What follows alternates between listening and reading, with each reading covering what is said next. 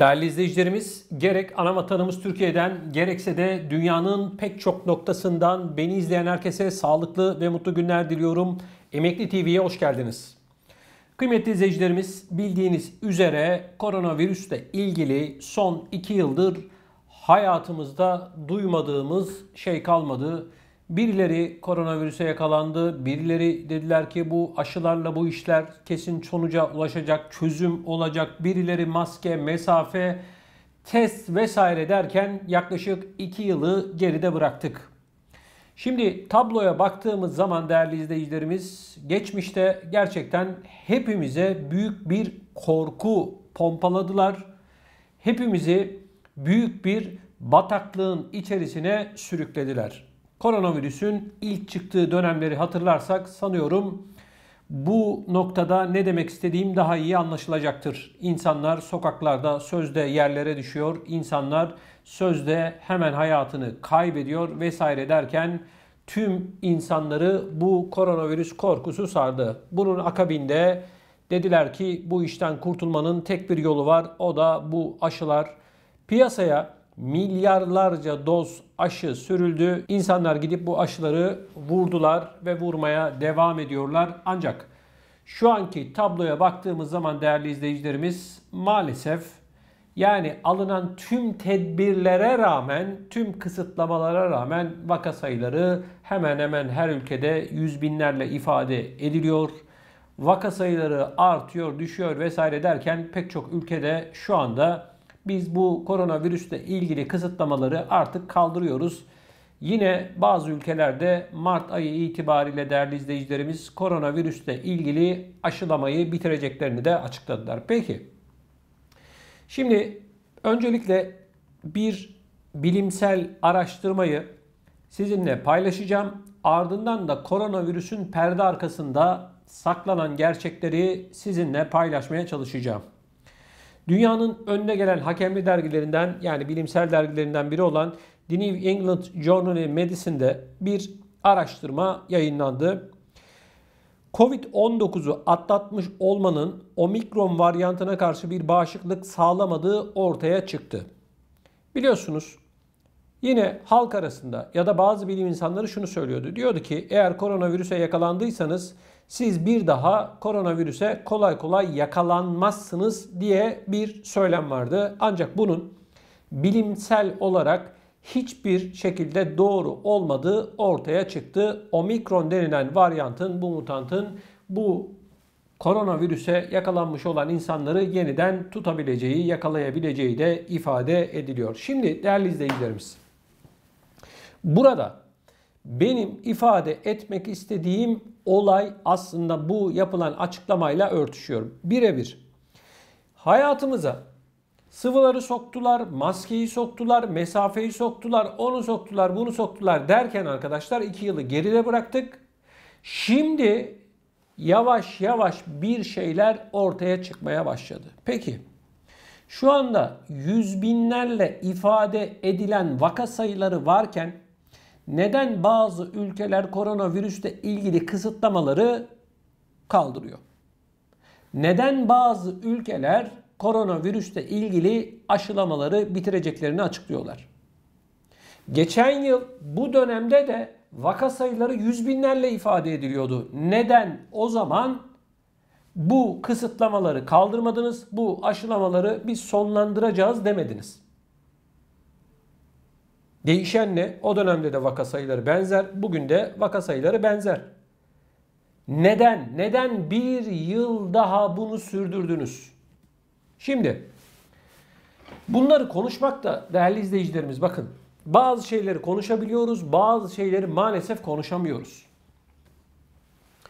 Şimdi bir yıldır Koronavirüsle ilgili 10 tane neredeyse mutant gördük. Yok Brezilya mutandı, Güney Afrika mutandı, Hindistan mutandı, bilmem ne mutandı, mutandı, mutandı derken şimdi omikron, şimdi omega'dan bahsediliyor.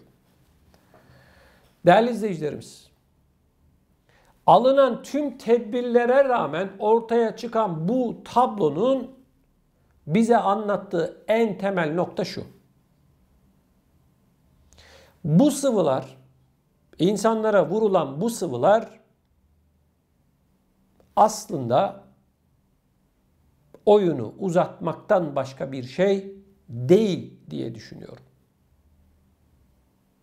Çünkü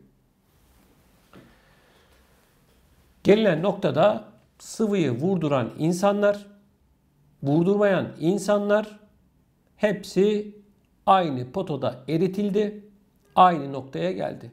Sıvıyı vurduran da yakalanıyor, bu sıvıları vurdurmayanlar da yakalanıyor. O zaman ben bir sade vatandaş olarak şunu soruyorum. Bu kadar insana neden dayatma yaptınız?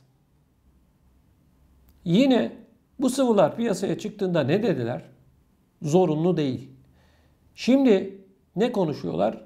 Sıvıları vurmayı mecbur hale getireceğiz diyorlar değil mi? Pek çok ülkede bu konuşuluyor şu anda. Değerli izleyicilerimiz, bu genel çerçevesini çizmiş olduğum koronavirüsle ilgili tablo maalesef insanlığın ne kadar aciz olduğunu, insanların birilerinin parmaklarının ucunda adeta birer kukla haline getirildiğini, birilerinin bir senaryo yazdığını ve bu senaryoda da sana, bana, bütün insanlara figüranlık rolü verdikleri açık bir şekilde ortada. Bizi oynattılar. Tekrar soruyorum bakın. Şimdi pek çok ülke koronavirüsle ilgili tedbirleri kaldırıyor. Geçen yıl da aynı tablo vardı. Vaka sayıları, hayatını kaybeden insanlar vesaire, yoğun bakımlarda yatanlar. Peki geçen yıl neden kaldırmadınız? Aynı tablo. Değişen bir şey yok. Neden bir yıl boyunca uzattınız? Birilerine para kazandırmak için mi yaptınız bu sıvıyı üretenlere? Birilerine yeni dünya düzeni daha rahat bir şekilde hayata geçsin diye çanak mı tuttunuz? Yine değerli izleyicilerimiz pek çok ülkenin bu koronavirüs döneminde ekonomisi alt üst oldu. Yine bu dönemde bildiğiniz üzere pek çok insanın, pek çok ülkenin ekonomileri alt üst oldu. Enflasyonlar yükseldi. 40 yıldır pek çok ülkede görülmeyen enflasyon rakamlarına ulaşıldı. Amerika'da 40 yıldır görülmeyen enflasyon arkadaşlar %7 oldu. Almanya'da %5.9'a kadar çıktı. Düşünün. Şimdi bu koronavirüs döneminde hepsi yaşandı. Ben de şunu soruyorum size. Biri bir senaryomu yazdı. Yeni dünya düzeninin ilk adımları mı atıldı? Yine enteresan bir şey. Özellikle hayatını kaybeden insanların ileri yaş grubunda insanlar olduğunu görüyoruz yaşlılarımız daha çok hayatını kaybetti. Yine iddialara göre dünyada büyük bir sıfırlama mı yapıldı arkadaşlar? İşte tam bu noktada söylememiz gereken yine başka bir durum var, başka bir tespit var. Bu da şu arkadaşlar. Bu senaryoyu her kim ya da kimler yazdıysa bunlar şu anda hepimizi psikolojik olarak buna alıştırdılar. Daha uzun yıllar bu koronavirüste yaşayacağız. Daha uzun yıllar bu koronavirüsle ilgili haberleri duyacağız. Koronavirüs ilk çıktığı zaman hepimiz bir panik haldeydik değil mi? Şimdi ne oldu? Herkes yakalanıyor. Alıştırdılar bizi. Yani artık hayatımızda koronavirüs var. Ve kalacak. Bu işten öyle 3-5 yılda falan kurtulmak mümkün değil arkadaşlar. Görünen köyde kılavuz istemez. Bakın çevremizde bulunan insanlara duyuyoruz mesela işte aa koronavirüse yakalandım. Aa şöyle oldu. Artık kimse ilgilenmiyor bile. Eskiden olsa üzülüyorduk. Aa şu yakalanmış. Aa bu şöyle olmuş, böyle olmuş. Aa ağır mı atlatıyorsun? Ne yesek, ne içsek? D vitamini mi, bilmem ne mi, o mu, bu mu? İnsanları büyük bir kaosun içerisine sürüklediler bilerek ve isteyerek. Tıp dünyası da ne yaptığını inanın bana bilmiyordu. Koronavirüsle ilgili 2 yıl önce, 1 yıl önce verilen ilaçların şimdi hiçbiri kullanılmıyor, hiçbir etkisinin olmadığı da açıklandı. Şimdi insanlar yakalanıyor. İnsanlara diyorlar ki ilaç kullanmana gerek yok diyorlar. Doktorlar söylüyor. Sağlık Bakanlıkları söylüyor bunu. E madem öyle geçmiş yıllarda bu ilaçlarını vermiş olduğunuz insanlar üzerinde deney mi yaptınız? Kobay olarak mı kullandınız? Nedir bu yani? Bu işin sorumlusu da yok. Bak enteresan bir durum arkadaşlar. Şimdi diyelim ki birisi bu işten hayatını kaybetti ya da o sıvılarla ilgili birilerinde yan etkiler oldu. Muhatap kim? Yok. Sorumlu kim? Yok. Bu sıvıyı vurdururken bir de e, bu mRNA teknolojisi Profesör Doktor Uğur Şahin'in bulduğu, bu BioNTech'in bulduğu mRNA teknolojisiyle yapılan aşıları vurmadan önce insanlara imza da arttırıyorlar. Bütün sorumluluk bende diyorlar. E şimdi ben de soruyorum. Yarın öbürsü gün birilerine bir şey olduğunda bu işin sorumlusu kim olacak? Yok. İşte birilerine kalp krizine neden oluyor. Birileri ağır bir şekilde tansiyon hastası oluyor vesaire oluyor. Bunların sorumlusu kim? Yok.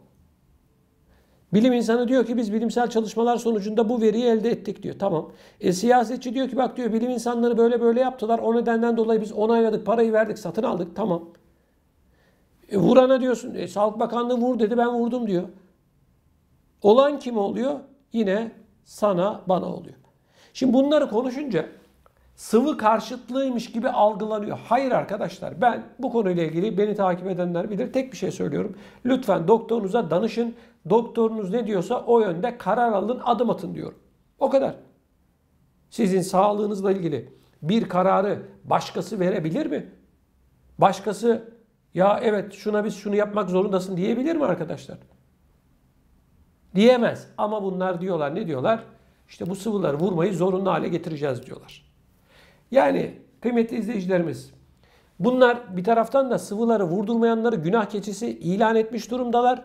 Diyorlar ki bu sıvıları vurdurmayanlar yüzünden bu koronavirüs bitmiyor diyorlar.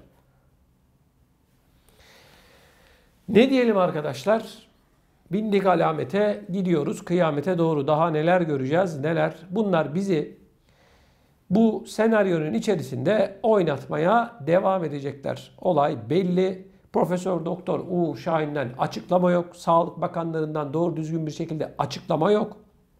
Herkesin işi tıkırında olan yine bize vatandaşlara oluyor. Profesör Doktor Uğur Şahin çıkmış şimdi diyor ki yeni bir sıvı bulduk bunu önümüzdeki günlerde açıklayacağız ve piyasaya süreceğiz diyor.